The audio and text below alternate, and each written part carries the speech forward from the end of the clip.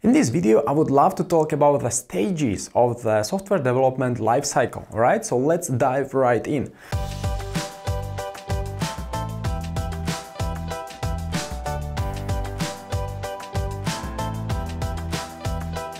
This, this whiteboard is fully packed and the reason is that um, the software development lifecycle doesn't have just one definition, but the stages could be described from, from uh, different angles depending on how granular you would like to be, all right? So say you would like to be really granular and you work in a corporate environment where everything needs to be structured and you need to talk to different people in different environments, maybe in different uh, subsidiaries. Uh, if the system, if the, if the software affects different branches or, or you know, uh, mother companies, parent companies, whatever, right?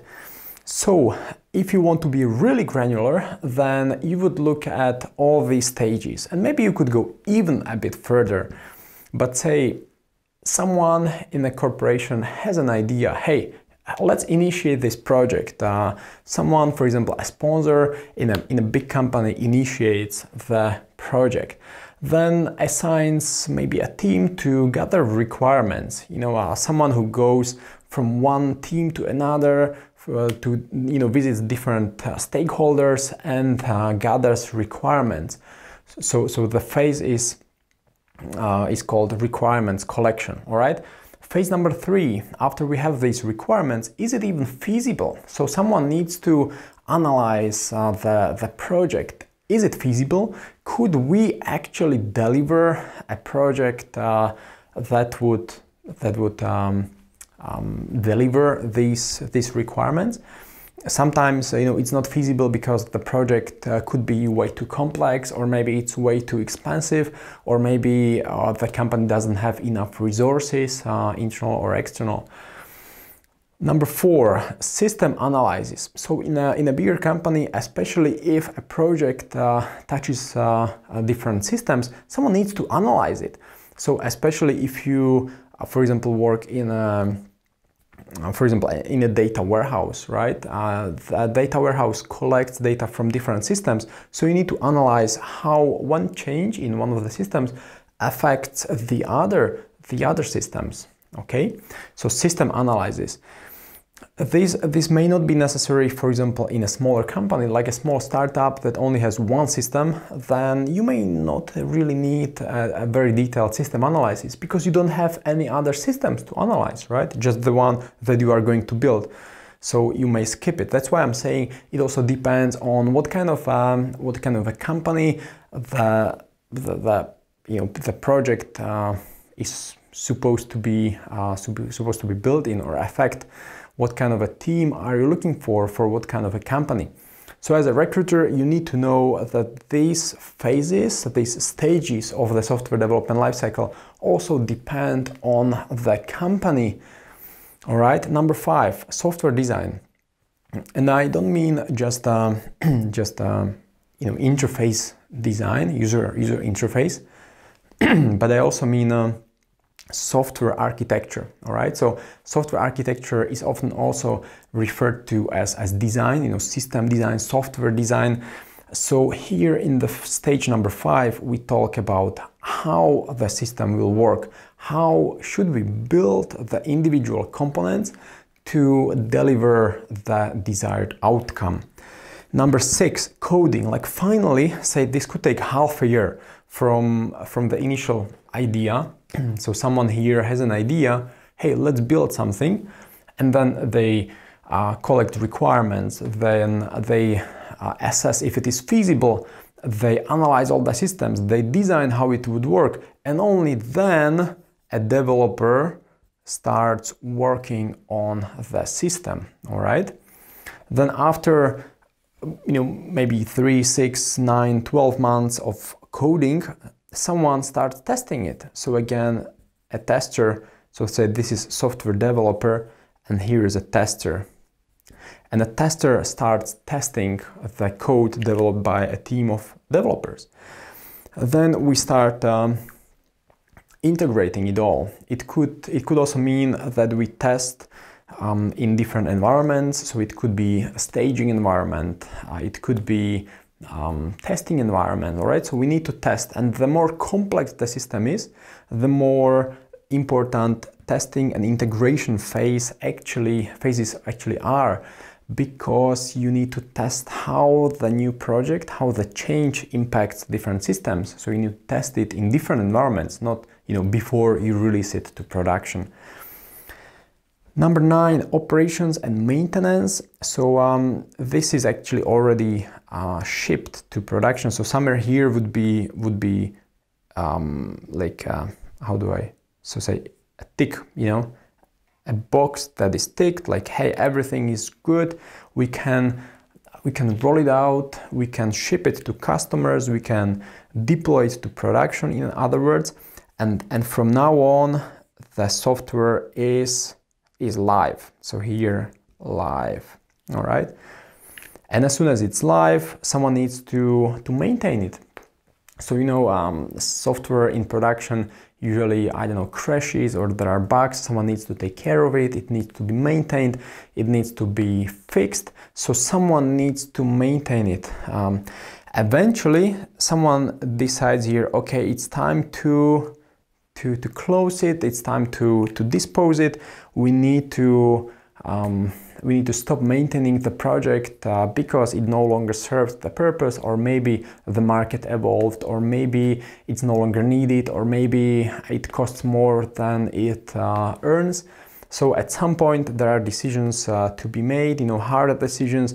And at some point a project that eventually was a great idea three five ten years later will be sooner or later it will be disposed uh, threw away.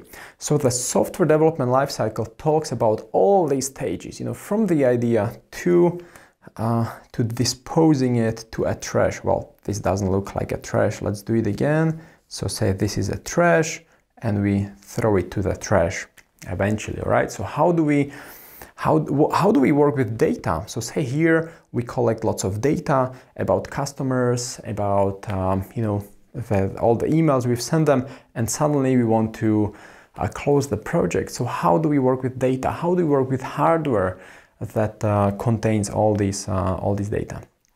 You can see this is granular, right? This is granular. This could work in a corporation easily, but um, we could also um, step a little, little higher on, on a higher level.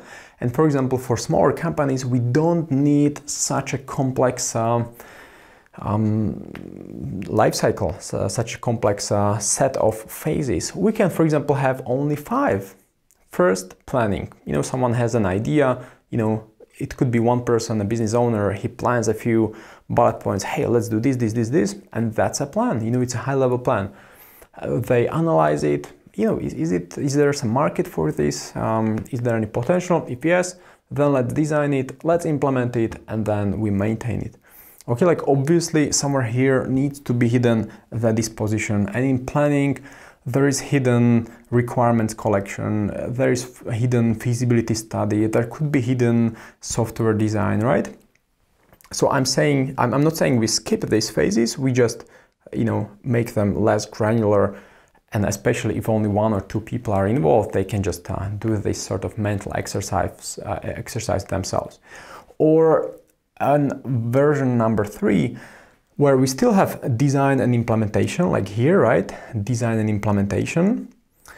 But um, planning and analysis are called together as requirements, requirements gathering, okay, requirements gathering.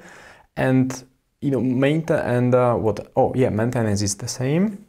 Oh, let's say I forgot to label it like, hey, this is the same, maintenance is the same. What we have here is testing. It doesn't mean that we, we don't test. The testing is just hidden in implementation because uh, you know these days it's trendy for developers to test their own code and small comp companies actually don't have uh, a team of testers so it's developers testing so in other words we don't need a separate stage because we develop new code so someone tests it uh, ongoingly on an ongoing basis. So why to even add a stage, right? But here we have it. It doesn't mean it's uh, it, it's um, obsolete or it doesn't bring any value. It's good to think about it. Maybe For more complex systems where you integrate a third-party solution, you need a testing environment. You need a phase where to, you test it. This could actually also depend on the project. So in a company, for one project, you can have these five phases. For another project, you can have these five. When you, for example, involve a third party, this is something I've seen just recently in a company that uh, integrated a payment gateway. They required, um, the, I mean, the payment gateway required the company to test it properly. So obviously testing phase. But for some other internal projects, there's no testing phase needed because the developer who codes the system, he also tests it uh, at the same time. All right, so I wanted to, to share with you the stages so you guys understand how it differs. And sometimes people say, hey, what are the five, uh, five stages of the software development lifecycle? Well, there are no clear five stages. It also depends. You can go granular, you can go high level, it depends uh, project to project, company, company to company. What is important, I would say, at this point is to realize you have an idea, you have a project that is uh, in production, and everything in between could be as granular as you want, you know, from feasibility study to analysis. It could be system analysis, software analysis, data analysis, right? It could be whatever business analysis. We could add here more and more items, but in fact, it's just a step it's just a step of on you know on in someone's uh, task list eventually all right so this is what you need to know at this point. As a recruiter you need to be aware there are certain stages. It's similar when you go to to shop uh, to buy some groceries right? As i mentioned in the previous video you have an idea that you are going to cook then you know you will cook something. So you analyze what you are going to cook what do you need to buy how do you you know where do you where do you need to buy then you go and buy it and then you dispose. Yeah, you know that, that trash. So uh, there are some parallels. At this point remember planning analysis design implementation maintenance these are the, the words you need to be aware of. And then you know on, based on based on common sense you can you can just connect the dots. All right